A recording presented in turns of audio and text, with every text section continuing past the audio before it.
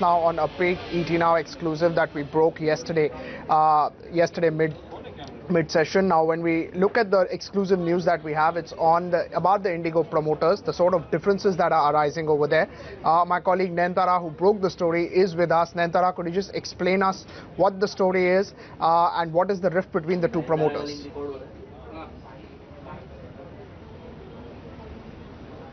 This is a mega ET Now exclusive, which we brought to our viewers uh, yesterday. It's been followed up, uh, uh, you know, by all leading newspapers. And in fact, today you are seeing the Interglobe stock, the owner of Indigo Airlines, uh, crack in trade. It is under selling pressure. This is after ET Now exclusively reported that there is a rift between the two promoters, the two men that founded uh, Indigo Airlines in 2004, which is an investment of 350 crore rupees. India's most successful airline.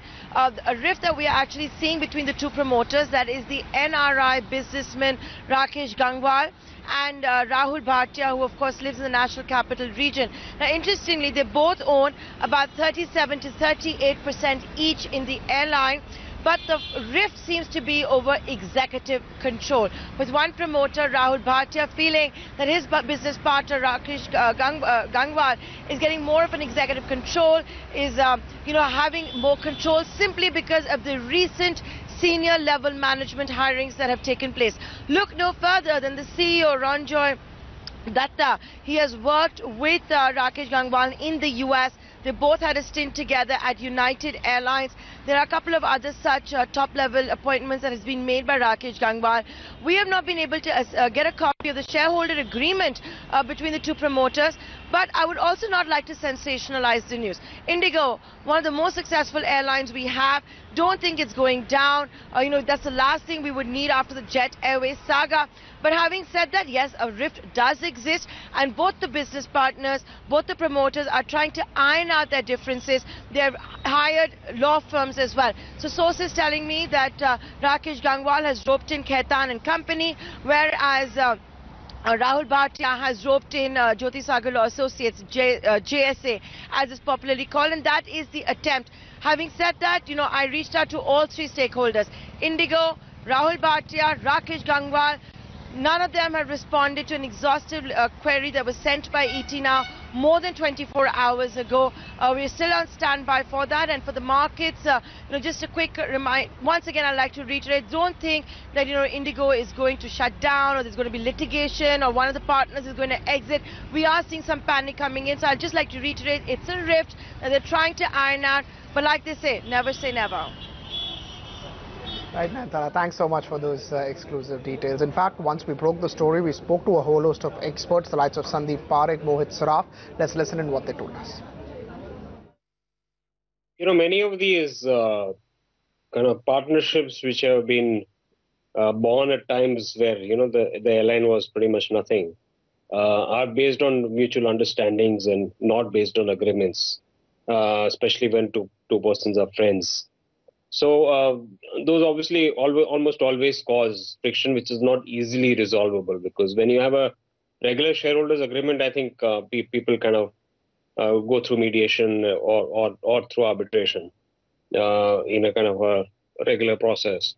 But uh, when you have kind of unwritten rules which have been uh, put in, and you have such large stakes, you you told me it's 75% together, and and so together kind of they, they can pretty much control everything in the com- company. So i think it's uh, it's one of those difficult it's it's like a um, there was proceeding very very painful very difficult. Nothing is written down and uh, it kind of ends up in uh, all kinds of mudslinging. So um, it could be painful if they've not documented through a shareholder agreement what the rights and duties are but i, completely agree with um, Mohit's perspective on what he said Yeah, it does happen. It happens regularly in com companies. You are two partners, maybe equal stakes, but uh, some partner is more active in business, other partner, partner may be active in other things, government relationships and things like that. So there is a possibility that uh, one partner may feel left out or may feel little disturbed.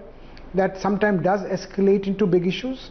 But generally, I would say these issues should be resolved quite easily because I think what you rightly said is that this company is one of the very, I would say, absolutely a company which has grown from almost nothing to one of the large, uh, the, the largest airline in India, and therefore the stakes are high for both part- promoters.